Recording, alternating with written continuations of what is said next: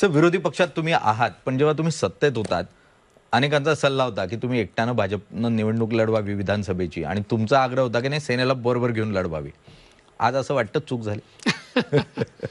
राजकारणामध्ये जे होऊन गेलं त्याला सुधारता येत नाही.